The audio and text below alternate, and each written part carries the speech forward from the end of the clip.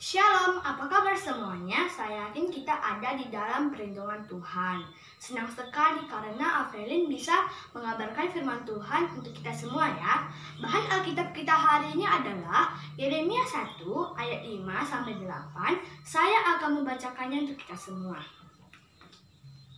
Sebelum aku membantu engkau dalam rahim ibumu, aku telah mengenal engkau. Dan sebelum engkau keluar dari kandungan, aku telah menguduskan engkau. Aku telah menetapkan engkau menjadi nabi bagi bangsa-bangsa. Maka aku menjawab, ah Tuhan Allah, sesungguhnya aku tidak pandai berbicara sebab aku ini masih muda. Tetapi Tuhan berfirman kepadaku, Janganlah katakan, aku ini masih muda, tetapi kepada siapa pun engkau kuutus, haruslah engkau pergi dan apa pun yang kuperintahkan kepadamu haruslah kau sampaikan. Janganlah takut kepada mereka, sebab aku menyertai engkau untuk melepaskan engkau demi firman Tuhan. Tema kita hari ini adalah Aku dilahirkan untuk menjadi berkat. Bapak, Ibu, teman-teman semua, apa itu menjadi berkat? Menjadi berkat adalah melalui hidup kita, orang di sekitar kita merasakan berkat dari Tuhan. Menurut kita, siapakah yang dapat dan mampu menjadi berkat? Kitab Yeremia pasal 1 ayat 5 sampai 8 memberikan kita pengertian bahwa Tuhan sudah membentuk kita untuk menjadi berkat. Ayat 5 dikatakan Sebelum Tuhan membentuk kita dalam rahim ibu kita, Tuhan telah mengenal kita. Dan sebelum kita keluar dari kandungan, Tuhan telah menguduskan kita. Tuhan sudah mempunyai rencana untuk kita, seperti halnya Nabi Yeremia. Jauh sebelum Nabi Yeremia lahir, Tuhan sudah merancang Yeremia untuk menjadi nabi bagi bangsa-bangsa. Begitu juga aku dan kamu. Tuhan sudah merancang kita untuk menjadi berkat bagi orang lain. Ini suatu rencana yang besar dan suatu rencana yang sudah lama dipersiapkan. Bapak, Ibu, teman-teman semua, jawaban Yeremia Sesungguhnya aku ini tidak pandai berbicara sebab aku ini masih muda. Jawaban Yeremia sangat manusiawi karena ia menyadari kelemahannya. Mungkin kita seperti itu juga. Aku ini kan masih muda Tuhan, aku kan masih kecil. Mana mungkin bisa menjadi berkat? Tetapi jawaban Tuhan mengubah kelemahan kita.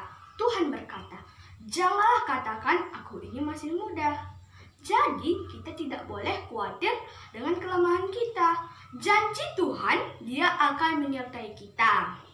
Tuhan menciptakan aku dan kamu untuk menjadi berkat bagi orang lain. Mengapa? Karena kita telah menerima berkatnya terlebih dahulu. Blessed to be blessing. Bapak, Ibu, teman-teman semua, ada ilustrasi tentang buah kelapa. Kita belajar dari buah kelapa, batangnya bisa digunakan untuk bahan bangunan. Daunnya bisa dipakai untuk pembungkus ketupat. Tulangnya bisa dipakai untuk sapu lidi. Dagingnya bisa dipakai untuk santan dan airnya bisa dipakai untuk cairan tubuh. Arti dari ilustrasi ini, kita pun harus membagikan hidup kita kepada orang lain. Berkat bukan hanya uang, tetapi juga cinta kasih, doa, perhatian, sapaan, penghiburan, menjadi sahabat, mengabarkan firman Tuhan, dan lain-lain. Tidak usah berpikir yang spektakuler untuk menjadi berkat, tapi melalui aksi sederhana pun sangat bernilai. Misalnya,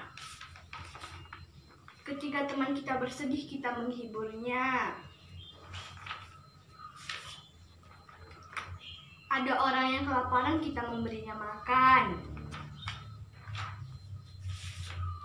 Saat adik tidak tahu mengerjakan PR, kakak mengajarinya. Ketika ada orang yang terkena corona, kita mendoakannya.